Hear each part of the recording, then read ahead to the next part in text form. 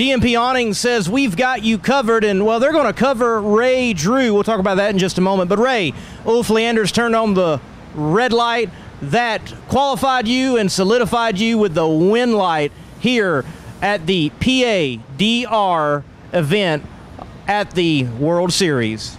Yeah, it was unbelievable. I feel sorry for Ulf. I mean, he had the car to beat all weekend. I want to thank uh, DMP Awnings for supporting this whole event. It's awesome, it's fun, and uh, we were uh, chasing our tail a little bit this weekend, but uh, we made the rounds and we made it to the final. And sometimes you got to be lucky, and that was my day. Certainly was. Speaking of being lucky, you won the raffle amongst the competitors to get a new DMP awnings over there for your pit you and the crew can work in the shade a little easier now. Yeah, how about that? It's my lucky day. I think I got to go play the lottery. So on the draw, they pulled my name out. I'm like, wow, unbelievable. I really thank Dean Dubbin from DMP Awnings. It's, I mean, what he does for the sport is unbelievable.